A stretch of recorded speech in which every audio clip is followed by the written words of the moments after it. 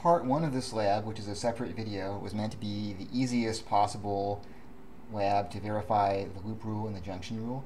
This is part two, which is harder.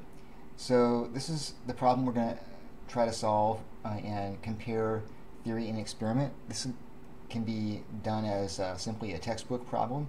Uh, in fact, it is a textbook problem, but we're going to also act it out in real life. So we have this complicated circuit consisting of a battery and a bunch of resistors, and uh, this is sort of the simplest circuit you can make out of a bunch of equal resistors so that it's not possible to break it down into parallel and series parts. So a lot of circuits that are a resistor network like this, uh, you can say, oh, well, there's a parallel part inside a series part, and that series part is in parallel with some other part. It has that hierarchical structure. This one doesn't have that hierarchical structure. You can't kind of slice it along some line and break it down into smaller parts. So the only way to solve this is by directly using the loop rule and the junction rule.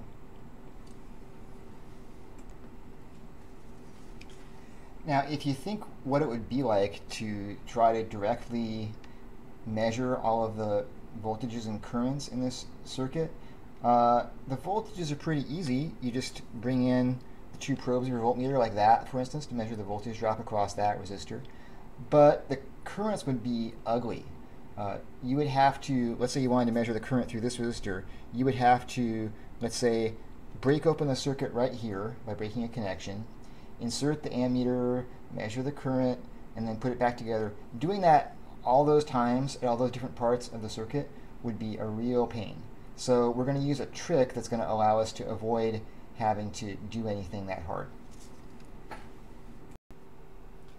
So to demonstrate this technique for measuring currents effectively by actually just measuring voltages, I'm going to go back to this simpler circuit from the first part of this lab. This, lab, this circuit is actually this and in the previous part of the lab, we measured those currents at the green dots marked 1, 2, and 3. It was pretty laborious. We had to break the circuit at every single one of those points and insert the, the meter in the circuit, then uh, put the circuit back together again. So in a circuit like this, where it's basically just a big resistor network, there's a trick for avoiding that because the current and the voltage are not really independent things. So if you know the resistance and you can measure the voltage, then you can find the current. So looking at the color codes on all of these resistors, this one here is a 10K resistor.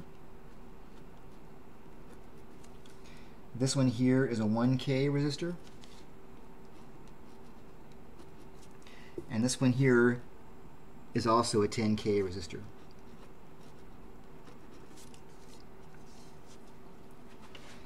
So those are the resistance values. And now I'm just going to measure all of the currents, but by measuring voltages instead and then really indirectly inferring the currents.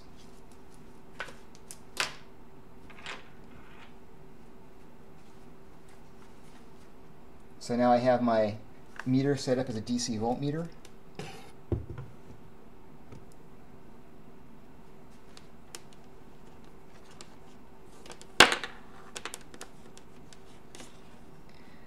I measure the voltage drop across resistor number 1 and I get 4.615 volts. Then I measure the voltage drop across resistor number 2 and I get 0.415 volts. And finally I measure the voltage drop across resistor number 3 and I get 0.415 volts. And actually, I've been ignoring all the minus signs. Uh, they're all actually downhill this way. The fact that I get the same voltage drop across both that resistor and that resistor isn't a coincidence. I can tell that that has to happen if I apply the loop rule to that loop.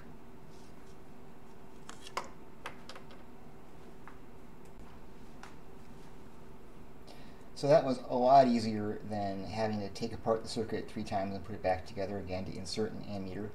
If I go ahead and use Ohm's law, I equals delta V over R for each resistor, I get those three currents shown in red. And I can see, just as we did in the direct measurement of the current, that this current coming into the junction is the same as the sum of these two currents coming out of the junction.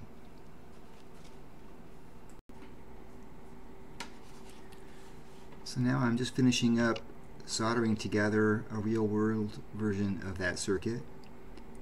This is meant to be compact and easy to work with.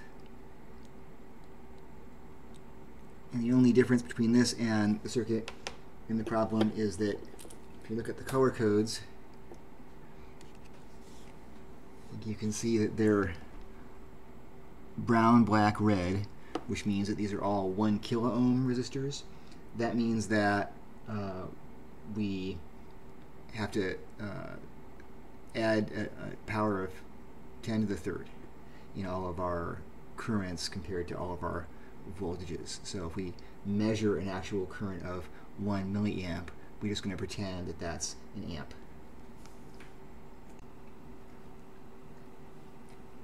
Now I've got my circuit hooked up to a power supply, which is off screen where you can't see it and I've dialed up 1 volt on that power supply. I can check that that's right by measuring that voltage right there. So it's reading 1.012 volts, which is as close as I could dial up on the power supply.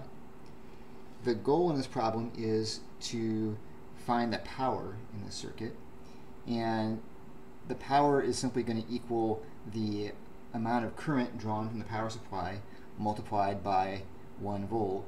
So in fact, numerically, the power just equals the current drawn from the power supply. And I'm going to check that against reality so that we have something to check our calculations against. But in fact, this is going to be the only current I ever actually measure in the circuit. It would be impractical to measure all these other currents, for one thing, because I've soldered this thing together, so I can't break those connections. So I'm going to switch the, the meter to microamps.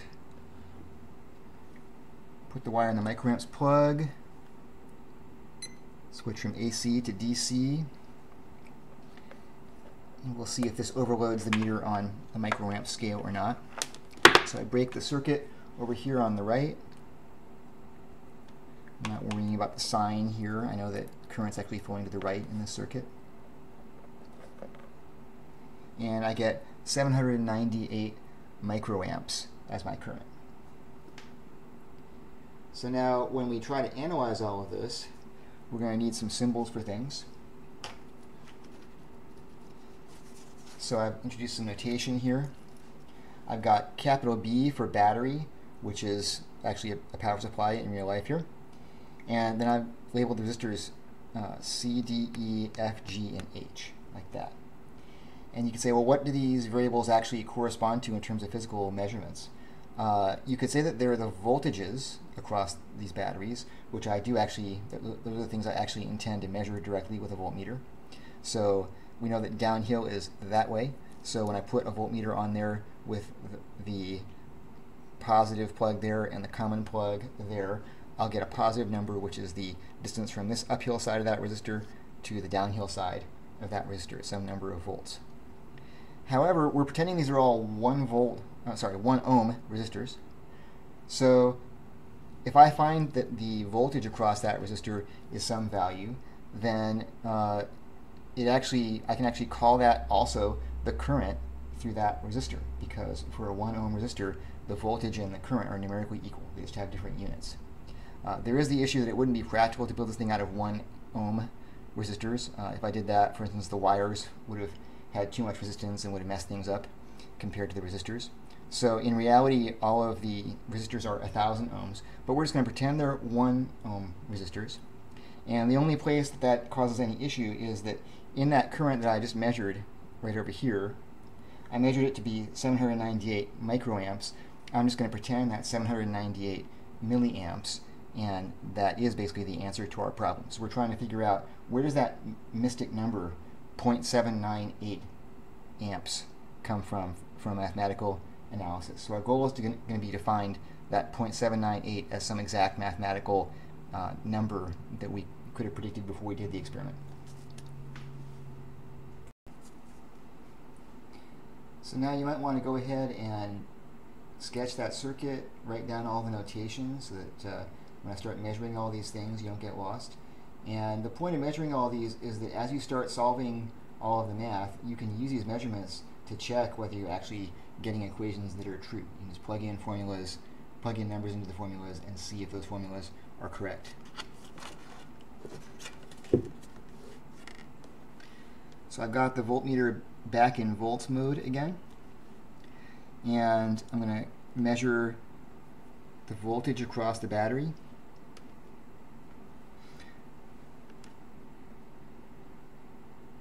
Which is 1.016 volts, which, which is as close to 1 volt as I could get it.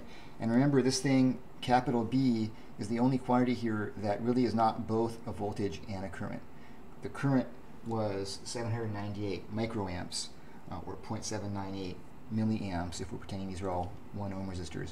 Uh, so B is not the, uh, the voltage, B is only the current there. And so I, what I just measured was the voltage, the current was what I previously measured with the real uh, ammeter. So now I'm going to measure C.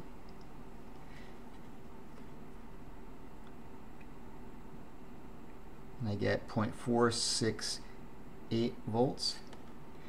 D 0.077 volts. E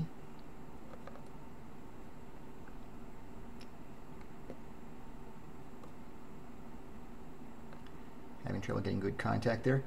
0.548 volts. F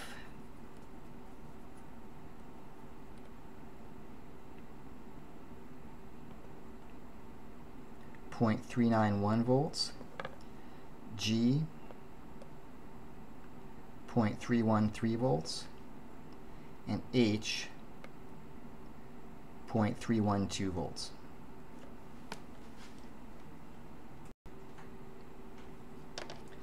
So now it's really up to you how to analyze the data, but I'm going to give you some guidance. Um, actually, you can do the entire calculation without ever appealing to any of the readings from the meter. And so you wouldn't actually need any of the, the voltages that I measured across any of the resistors. And at the end you could just compare with the current you found with the current that we measured right here. And since it's a 1 volt power supply that's numerically the same as the power that we were trying to find. Um, and, however, it's useful to have all the data as a check because then when you find an equation you can check whether it's true. So I'm going to uh, give you examples of uh, one of the junction rules you have to write down and one of the loop rules you have to write down and of how you would check that you've got those right by plugging in data. So there are five junctions in the circuit. One, two, three, four, and then a trivial junction between G and H where there's just one current flowing in and one current flowing out. So that's five total junctions. Uh, as an example, I'm going to analyze the one right here for you. So all the currents are flowing to the right on this diagram. That means that current F has to equal D plus G. So you could write down that equation, F equals D plus G, and then if you wanted to check that that equation was right, you could plug in the meter readings. Now the meter readings were really voltages, but because these are 1 ohm resistors, uh, that's the same as the currents in units of amps. And if you do that, F equals 0.391 amps. And if we add the readings for D and G, we get 0.390 amps. So we're basically getting perfect agreement there to within rounding errors on the meter. Now of those five junctions, they're not all independent.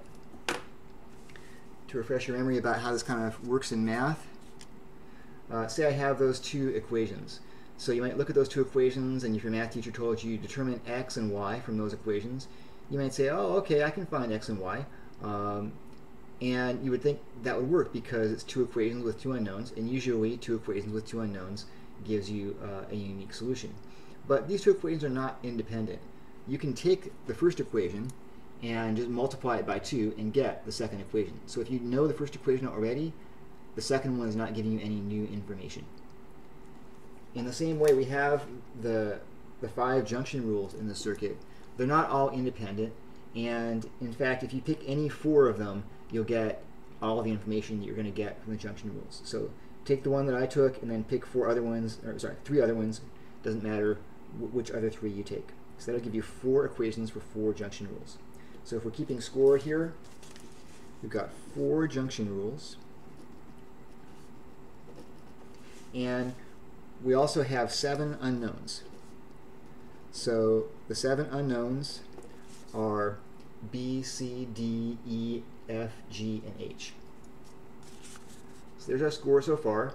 So you could write down those four junction rules and then start to manipulate them and do algebra. That would be really pointless because you can't solve four equations in seven unknowns. So we need three more equations, and they better be equations that are independent of the ones we've already found. So the way we're going to get three more equations is we're going to use the loop rule. And there are many loops you could do in the circuit. There are way more than three actually, but they're not all really independent.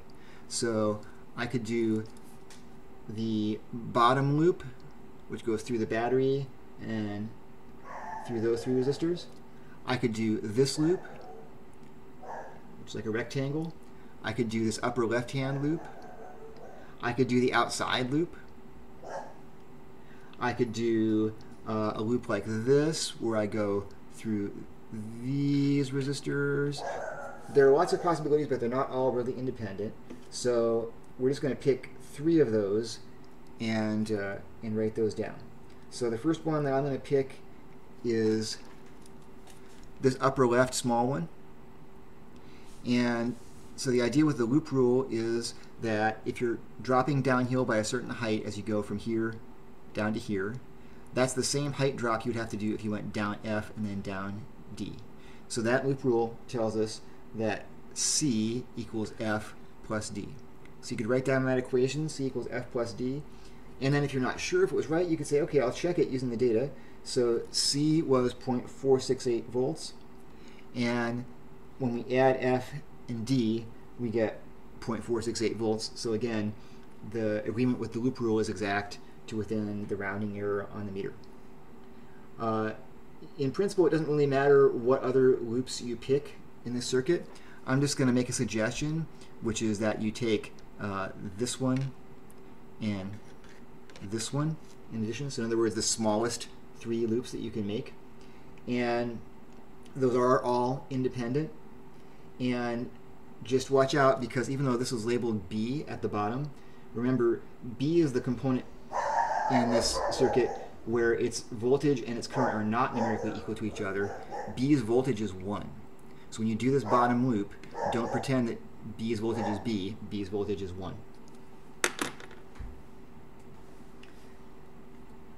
To help you organize your thoughts, I'm just going to give you some suggestions about how to keep things from getting confusing.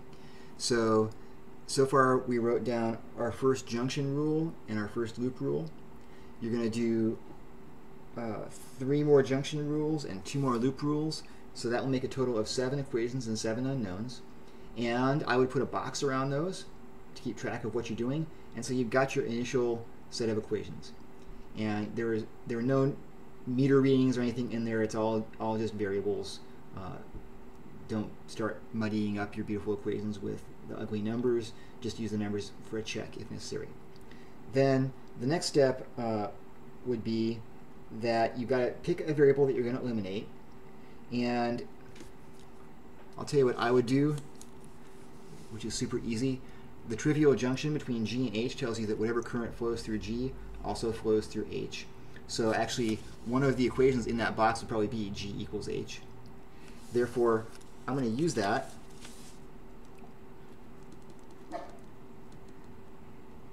to eliminate G. and to keep track of what I'm doing, I'm going to say that on my paper and draw an arrow. And then in my new box, wherever I have a G, I'm going to write an H instead because that's the expression that I've got now that replaces G.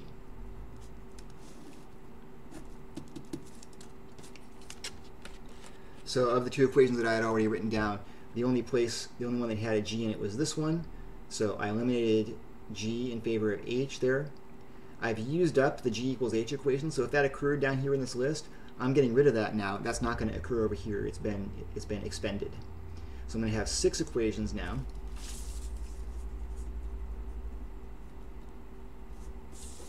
Six equations and six unknowns. Might not be a bad idea to go through that box and check that there really are only six different symbols that occur in there. Those would be all the symbols on a list except for G, which is now dead.